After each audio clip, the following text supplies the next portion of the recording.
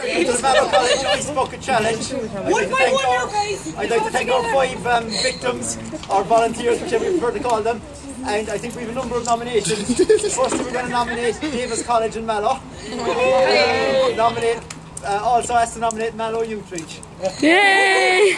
Cheers. Don't forget to donate. Okay, you've got 24 hours.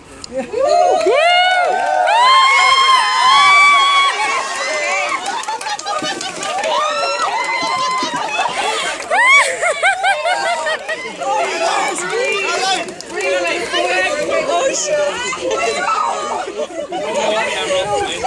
Donovan head wasn't wet.